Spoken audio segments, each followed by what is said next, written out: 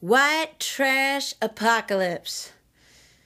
When the end comes, honey, please put me in a lavender Earl Scheib 99.95 paint job Pinto with homemade dingle ball fringe around the headliner and a magnetic Mary on the padded dash, sixer of Rolling Rock under the passenger seat, and golden oldies on the radio. Send me home from Carl's Jr. or beauty school, Kmart, Zody's, or the cosmetic counter at Walgreen Drugs in my pale blue polyester pantsuit uniform with the thong bikini lines visible through the flimsy fabric. And don't get too blinded by my hot pink Dragon Lady Sparkle Flake decaled and nail charmed acrylic manicure. Yeah, they're really my own nails. I paid for 'em, didn't I?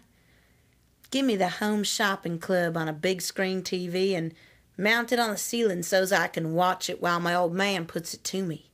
And afterwards, while he's in the john and I'm thinking, maybe I am going to order me that cubic zirconia 24 karat gold plate tennis bracelet. I want a plate of Ritz crackers smeared with creamy Peter Pan peanut butter, a cold Bartles and James, and a Virginia Slim. No, make that an Eve. Then I'll go and visit my ex. What a hunk, man in his grease monkey shirt with the muscles all bulging out, his name stitched over the breast pocket, hands all black from building a new carb for his panhead scoot. He'll slap me on the butt and call me Bright Eyes. Ow!